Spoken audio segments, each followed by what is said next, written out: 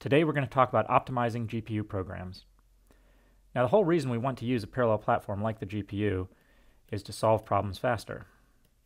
And in turn, the reason we might want to solve problems faster could be simply because we want to solve a problem faster, or more often it's because we want to solve bigger problems or solve more problems.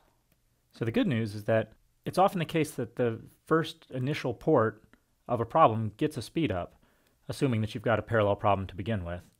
And uh, in my experience, this is this is actually when a lot of GPU programmers get hooked. You know, over the weekend they go home and out of curiosity they try porting some piece of their existing CPU code to the GPU, and they get a nice speed up, a 5x or 8x speed up, and that's that's what sort of gets them hooked and makes them realize that they could uh, put some more effort into this and get get a bigger speed up.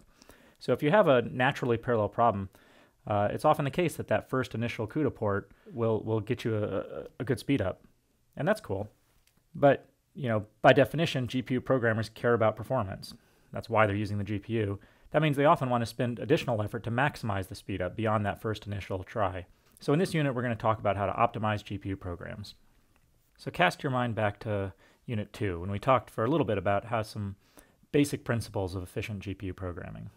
So check which of these principles accurately correspond to things we talked about in Unit 2 about efficient GPU programming. Do we want to decrease arithmetic intensity? Do we want to decrease the time spent on memory operations per thread? Do we want to coalesce global memory accesses? Do we want to do fewer memory operations per thread? Do we want to avoid thread divergence? Do we want to move all data to shared memory?